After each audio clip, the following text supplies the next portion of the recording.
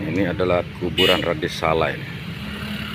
Kuburan ini berada di Kelurahan Potu, dekat dengan Sungai Rabalaju, Kecamatan Bompu, Kabupaten Bompu, Nusa Tenggara Barat.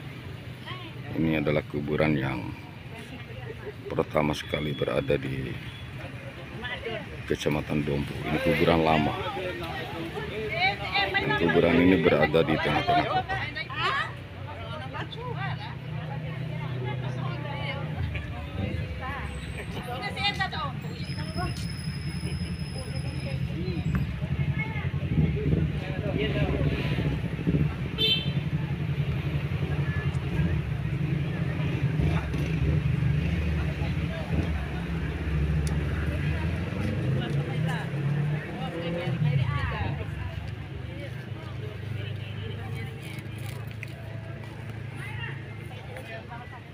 Ini luas lahannya sekitar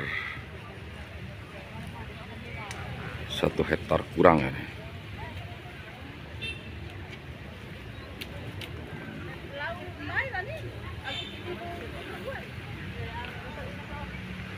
Dan kuburan ini dikelilingi oleh rumah-rumah warga.